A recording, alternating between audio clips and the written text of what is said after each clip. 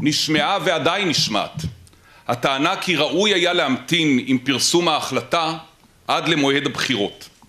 לעניין זה אבהיר כי פעלנו לפי מדיניות המנחה אותנו מזה שנים רבות ולפיה ככלל אם תיק מבשיל להכרעה אין מקום להמתין עם פרסום ההחלטה רק בגלל בחירות קרבות.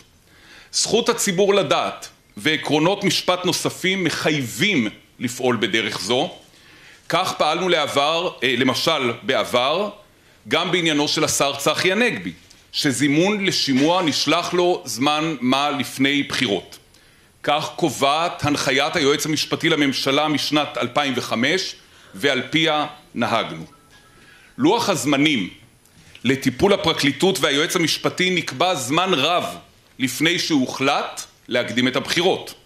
הדיונים בפרקליטות הסתיימו כולם לפני שהתקבלה ההחלטה להקדים את הבחירות ואף הודעתי על כך בפומבי והוספתי כי בימים הקרובים יחלו הדיונים הסופיים אצל היועץ המשפטי לממשלה. רק זמן קצר לאחר מכן הוחלט על הקדמת הבחירות וכאמור לא הייתה כל סיבה לעכב את הדיונים אצל היועץ המשפטי לממשלה שמועדיהם נקבעו מראש. אוסיף גם כי העתירה שהוגשה לבג"ץ נגד החלטה זו נדחתה על הסף. מיד לאחר פרסום ההחלטה נשמעה ביקורת קשה משני כיוונים שונים והפוכים. מחד נשמעה טענה כאילו היועץ המשפטי נתן הנחות לראש הממשלה והקל עמו. מהצד השני נשמעה טענה כאילו היועץ המשפטי החמיר יתר על המידה עם ראש הממשלה.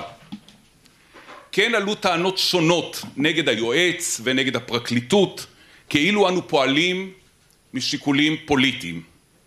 המשותף לכל הטענות שהזכרתי שעלו משני הצדדים היא הטענה שההחלטות בפרשות אלה התקבלו כביכול משיקולים זרים. אין כל שחר לטענות אלה. ההחלטות התקבלו אך ורק, ואני מדגיש אך ורק, משיקולים ענייניים המבוססים על חומר הראיות. שאלת זהותו הפוליטית של חשוד אינה מעניינת אותנו ואינה נשקלת על ידינו לעולם.